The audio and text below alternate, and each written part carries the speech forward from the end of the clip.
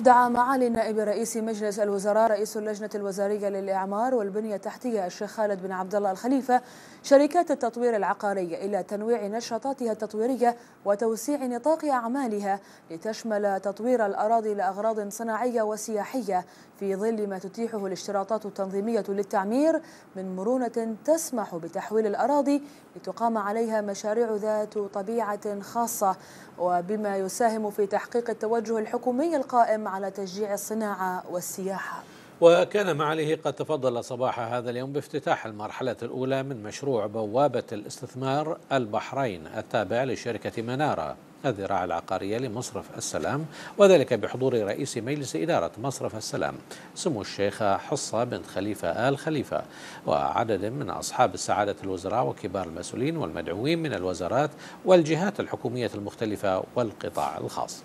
وقال إنه على الرغم من أهمية الدور الكبير الذي تقوم به الشركات المحلية العاملة في قطاع التطوير العقاري من رفض السوق بمتطلباتها السكنية لأنه قد حان الوقت للانتقال إلى مرحلة أخرى تساهم في مزيد من التحريك لعجلة التنمية الاقتصادية وتوفير الوظائف اللازمة للمواطنين ذوي المؤهلات الفنية وتحقيق آثار مباشرة على الناتج المحلي الإجمالي فضلا عن العوائد التجارية المجزية على المديين المتوسط والبعيد وذلك من خلال التحول إلى تطوير الأراضي الصناعية بخاصة وأن المخطط الهيكلي الاستراتيجي المعتمد بموجب المرسوم رقم 36 لسنة 2016 قد خصص ما نسبته 13% من إجمالي مساحة البحرين للاستخدامات الصناعية. وأكد معاليه أن البحرين تمتلك من المقومات ما يجعلها الوجهة المثالية للمستثمرين الصناعيين على مستوى الشرق الأوسط فإلى جانب يسر الأنظمة ووضوحها أشار معاليه إلى أن البحرين تتميز بموقع جغرافي ذي إطلالة مباشرة على البحر والذي تتخذ منه الشركات مقرا لانطلاق مشاريعها التي يسهل نقل منتجاتها من وإلى ميناء خليفة بن سلمان ومدينة سلمان الصناعية المهيئين ببنية تحتية متطورة والمتصلين بشبكة اتصالات ومواصلات حديثة برية وجوية. حيث مطار البحرين الدولي وجسر الملك فهد وهي جميعها عوامل تساعد على تمكين المستثمرين من الاستفادة من كافة الخدمات اللوجستية والتواصل مع العالم بالجودة والكفاءة المطلوبة.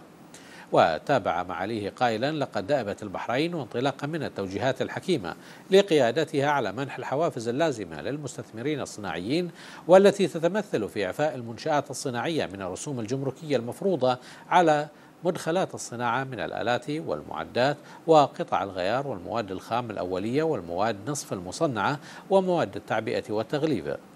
إذ يمكن للمستثمر التقدم بطلب الحصول على الإعفاء الجمركي عند حصوله على الترخيص الصناعي من الجهة المرخصة.